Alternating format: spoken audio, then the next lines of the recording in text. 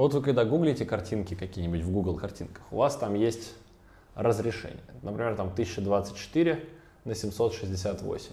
Как разрешение на экране компа. Что это такое? Это означает количество пикселей по горизонтали и по вертикали в данной картинке. То есть 1024 означает, что у вас тут реально будет 1024 пикселя. А 768 означает, что у вас реально по вертикали 768 пикселей у этого изображения. Что такое пиксель? То есть у нас есть по всей картинке очень много пикселей. Вся картинка состоит из пикселей. Вот, короче, берем какой-нибудь пиксель посередине с какими-то координатами. Ну, давайте дурацкий вопрос пока для чата, чтобы вы подумали. Да, пиксель, да, да, я. Вот это пиксель есть, да. Сколько всего существует пикселей на картинке размером 1024 на 768? Давайте, тупой вопрос на понимание, просто скиньте в чат ответ. А берем какой-нибудь пиксель. Не тот, который у нас в чате, а тот, который вот, вот пиксель какой-то. А если мы возьмем инструмент лупа в Paint и приблизим этот пиксель до упора, то этот пиксель, вот наша лупа, то этот пиксель это на самом деле один маленький квадратик определенного цвета. Он фиолетовый. Потому что, ну вот, видите, фиолетовый. Один маленький пиксель это один маленький, маленький, маленький квадратик. Насколько маленький? Ну, у вас на экране 1024 таких пикселя по горизонтали, как бы. Можете очень внимательно вглядеться в экран своего монитора, и вы разглядите эти маленькие квадратики на экране. Малюсенькие-малюсенькие квадратики, каждый из них определенного цвета. Даже на телефоне их можно разглядеть, хотя на телефоне, конечно, разрешение гораздо круче. Сейчас я разгляжу на телефоне, и тогда вам смогу сказать, правда это или неправда. Не, я не могу. Нет, ладно, еле-еле, с большим трудом, с хорошим зрением разглядываются пиксели на телефоне. Поглядите на свой экран на компе или на чем-нибудь, если вы можете разглядеть пиксели. На маке очень сложно будет разглядеть, потому что у вас очень много. Да, снимать экран компа с телефона, видны квадратики, да, да-да-да. Если внимательно глазами посмотреть на экран компа вблизи, вы тоже можете увидеть эти квадратики, потому что большой экран, и вот пиксели видно. Если вы попробуете взять очень малокачественную картинку и еще приблизить ее, то вы увидите, как там несколько пикселей раскрашены в разные цвета. То есть там смысле, разные вот так вот соседние квадратики. И они разных цветов. Может быть не сильно разных, чуть-чуть отличающихся. То есть вот этот будет сильно розовый весь такой. А этот будет такой не сильно розовый. Менее розовый не настолько ярко-розовый, посветлее. Потому что там на картинке плавный переход от ярко-розового к какому-нибудь зеленому, и типа там фон зеленый, допустим, а платье розовое. И на фотографии там у девушки розовое платье.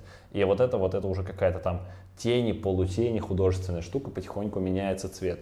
Короче, поразглядывайте картинки, вы поймете, что каждая штука устроена как вот какой-то пиксель, да, точка определенного цвета. И вот из этих точек разных цветов, ну, кстати, тут 768 примерно тысяч точек, то есть здесь приблизительно 768 тысяч точек. На самом деле больше, потому что 768 надо еще на 24 умножать.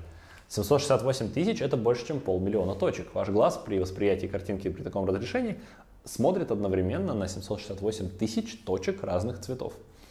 Довольно дофига. То есть очень много пикселей, и если их взять разного цвета всех, то как бы будет очень красиво.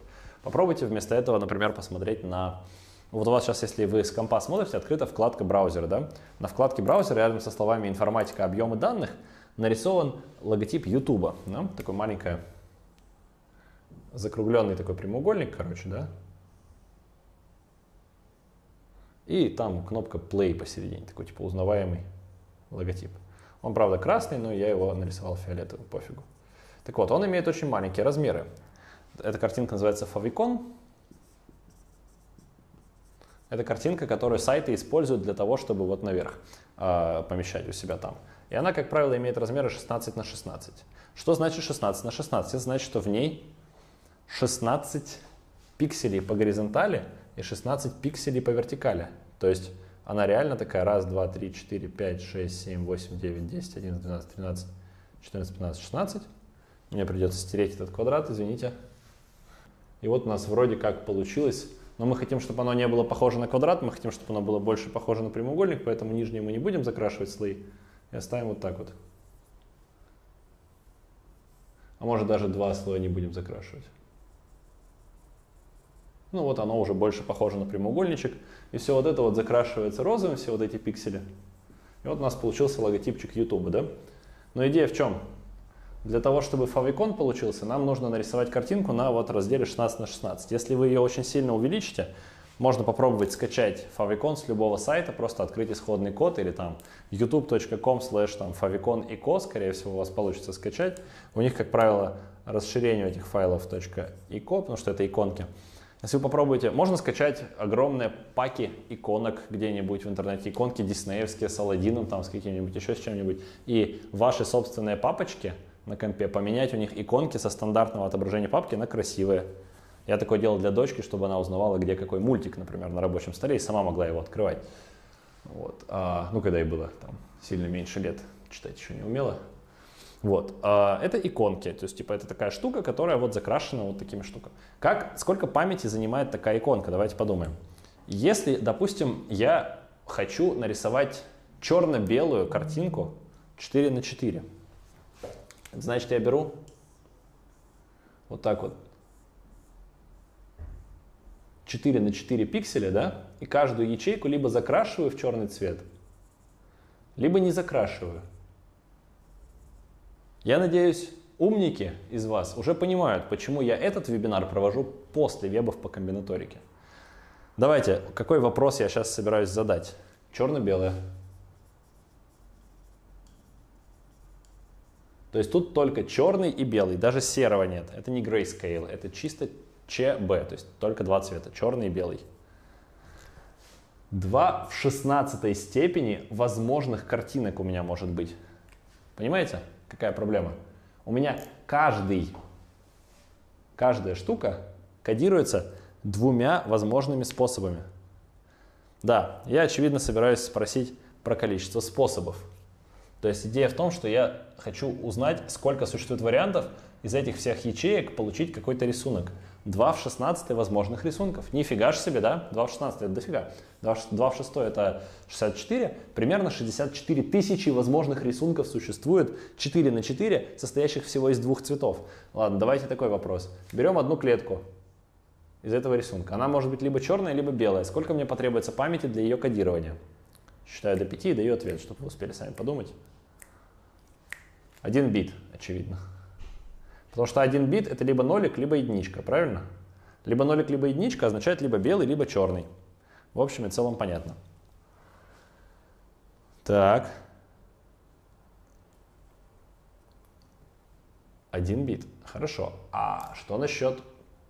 У нас всего 16 клеток здесь, правильно? Каждая клетка кодируется одним битом, значит всего 16 бит уйдет на то, чтобы закодировать такую доску.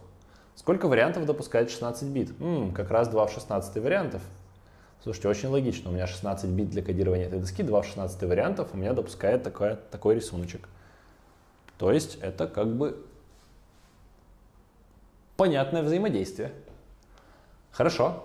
А, допустим, на этой картинке есть не только черные и белые цвета. Нет, ладно, допустим, конкретно на картинке YouTube все понятно, там только белые и красные цвета, это неинтересно. А, посмотрите, не знаю, на логотип ВКонтакте, допустим, там синий цвет и белый цвет. Посмотрите на логотип Школкова, там белый, синий и черный цвета. Посмотрите на логотип какого-нибудь Гугла, там вообще куча всего цветного. Получается, даже на этом фавиконе, который 16 на 16 всего лишь занимает, на нем довольно много различных цветов. То есть, типа, на нем может быть много цветов. Каждую клеточку можно закрасить любым цветом. У меня вот здесь, например, лежит там условно три маркера. Вот черный, розовый и фиолетовый. Я могу пользоваться тремя цветами.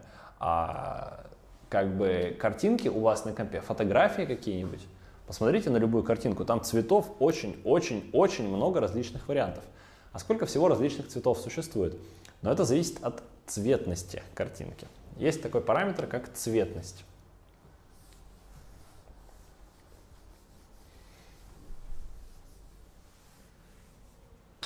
цветность. И цветность может быть, например, 32 бита. Что означает 32 бита? Это означает, что у вас 32 бита идет на кодирование одного пикселя.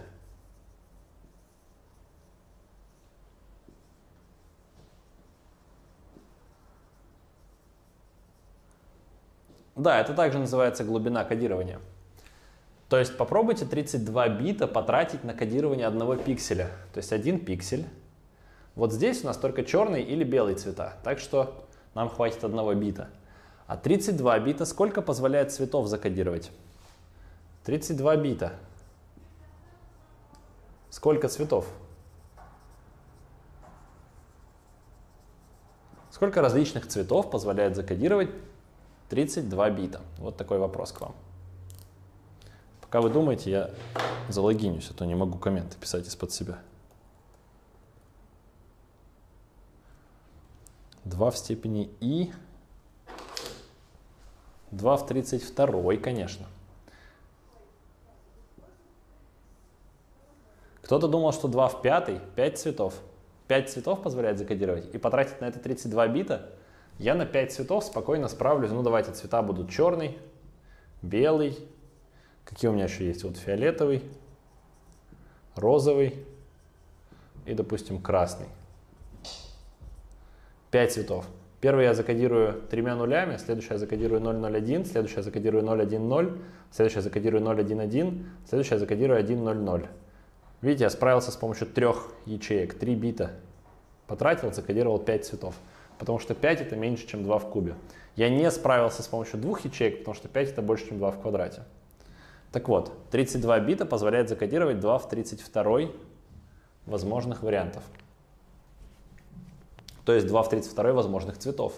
Я создам табличку, в которой будет 32 ячейки, а значит 2 в 32 строчек, и каждой строчке сопоставлю определенный цвет. Получается 32 бита позволяет закодировать 2 в 32 цветов. Офигенно. А два цвета, черный и белый, можно закодировать с помощью одного бита. Так вот, цветность 32 бита означает, что вот такое количество цветов. А сколько это примерно? 2 в 32? Хм, это 4 миллиарда примерно. 4 миллиарда цветов. Но это не очень удивительно. Как бы вы понимаете, да, что в нашем мире а, живут не только мальчики, но и девочки. И как бы понятно, это у мальчиков э, мы различаем типа цвета из разряда черный, белый, красный, розовый и так далее. А у девочек у них все по-другому. У них там фиалковый цвет, какие-то оттенки, там лиловые, бирюзовые какие-то, светло-зеленый, там цвет спелого яблока, цвет какой-то там, не знаю, цвет лица Александра Романовича, когда вы не сделали домашку. Ну вот, соответственно, чтобы они э, могли все эти цвета как-то называть, э, используется цветность с большим количеством бит, чтобы было порядка 4 миллиардов различных цветов. Ну, потому что есть люди, которые их различают, поэтому вот есть 4 миллиарда цветов.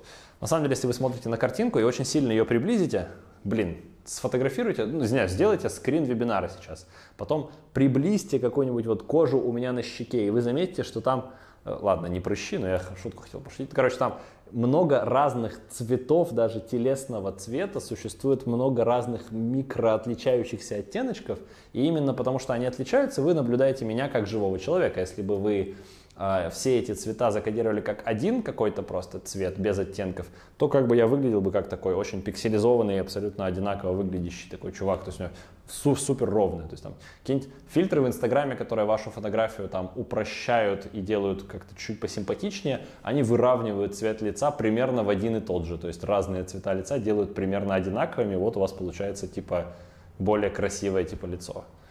Вот. А ровный да. Ровный препод у вас был бы. Так вот, много цветов это, короче, добро. То есть вы видите на одной картинке огромное множество цветов. Сфотографируйте какое-нибудь дерево и приблизьте очень сильно, и вы увидите, что там дофигища разных оттенков зеленого в листьях, оттенков коричневого, оттенки, которые показывают вам тень или свет, падающий на дерево. То есть для того, чтобы запечатлеть свет или тень, у вас получается очень различные цвета, надо использовать в каждом пикселе. И вот эти пиксели друг от друга должны очень сильно отличаться по количеству э, возможных цветов. Короче, вот, цветность 32 бита. Это 4 миллиарда примерно цветов. Но цветность 32 бита многим кажется не очень. Недостаточно яркие, непонятно, не очень различимые. А как насчет цветности 64 бита. Сколько позволяет 64 бита закодировать? Примерно 2 в 64 различных цветов. А сколько это примерно?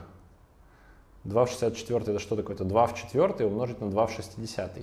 Это примерно 2 в 4 это 16, а 2 в 60 это примерно 1024 в 6. То есть это примерно 16 умножить на 1000 в 6. 1000 в 6, то есть на 10 в 18.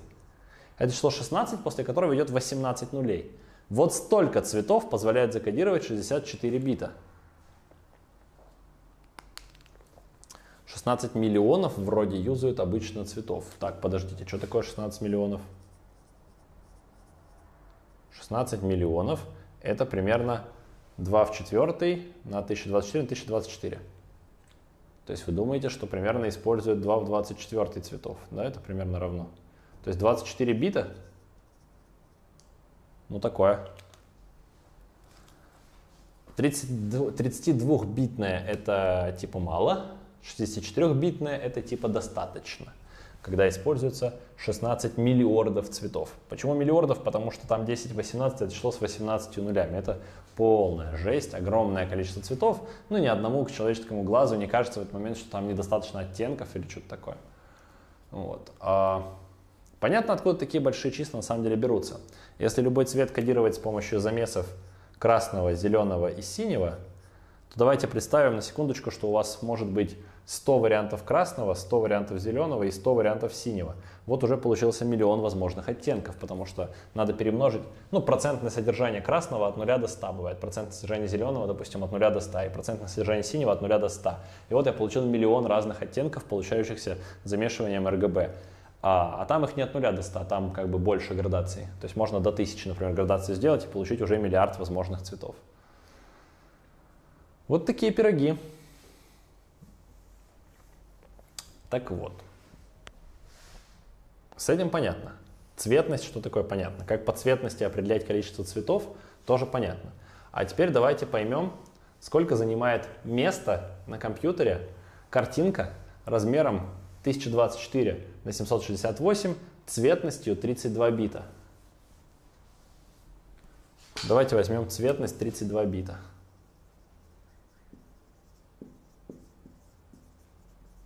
Сколько места? Занимает вот такая картинка. Давайте посчитаем. 1024 на 768 это количество пикселей. Каждый пиксель кодируется с помощью 32 бит, надо еще умножить на 32.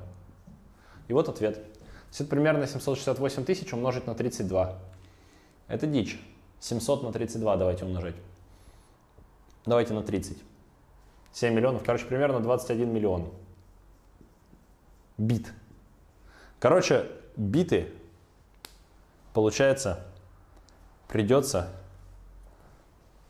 считать для картинок, как правило, миллионами. Это же вообще капец, это очень много. М-м, неудобно. М-м.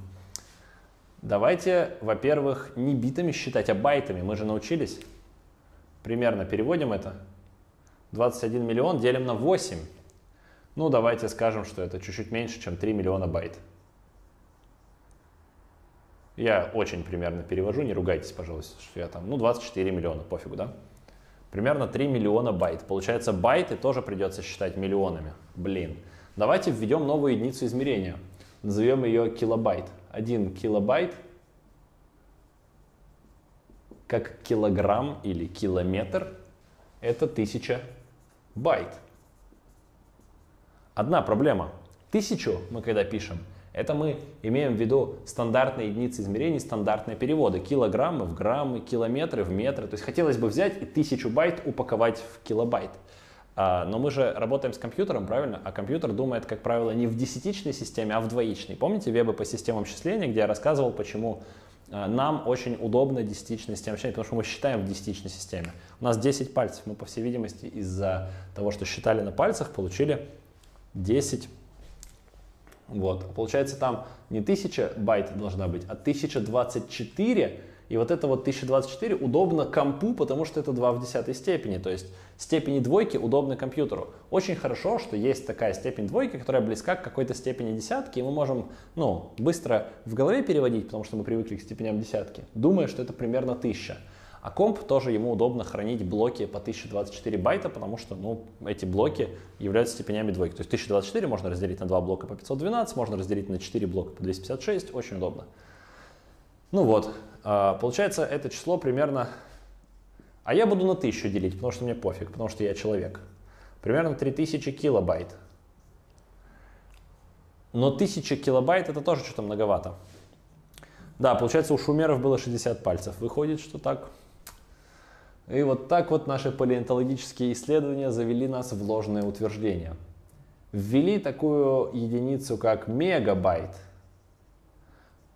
Кило означает примерно тысячу, мега означает примерно миллион байт. Но опять же, миллион никого не интересует. Интересует 2 в 20 степени. 2 в 10 это примерно 1000, 2 в 20 это примерно 1000 в квадрате, то есть примерно миллион. То есть это 2 в 10 умножить на 2 в 10 байт. А мы знаем, что 2 в 10 байт это килобайт, так что это на самом деле 2 в 10 килобайт. То есть примерно 1024 килобайта. Короче, мегабайт это примерно 1024 килобайта. Таким образом, вот эта история занимает примерно 3 мегабайта. И в общем и целом это звучит как правда. Вы берете картинку с хорошим таким разрешением 1024 на 768, то есть это в целом можно на заставку рабочего стола ставить на компе и будет не очень плохо выглядеть. И берете с нормальной цветностью 32 бита, то есть не черно-белую, не какую-то убитую, а та, в которой очень много различных цветов. И считаете у нее размер памяти, и получается 32, 3 мегабайта получается.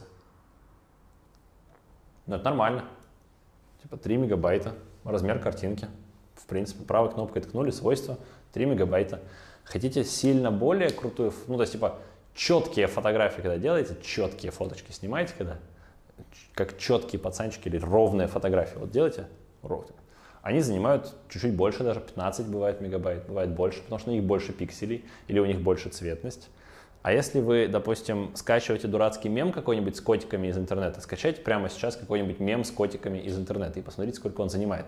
Он занимает 115, там, 120 килобайт, например, 200 килобайт, 50 килобайт картинка. То есть в 30 раз меньше потому что у него цветность чуть-чуть поменьше, вместо 32 бит, допустим, 8 бит, потому что там меньше цветов нужно, чтобы какую-то простую картинку отрисовать. Или потому что там пикселей сильно меньше, то есть там мем, короче, вот такой вот кусок просто взяли, в 4 раза уменьшили, вот у вас уже в 4 раза меньше памяти. Это все оптимизация памяти для передачи данных через интернет, потому что мегабайтами постоянно все выкачивать, но это довольно много. А теперь давайте подумаем, сколько места может занимать фильм.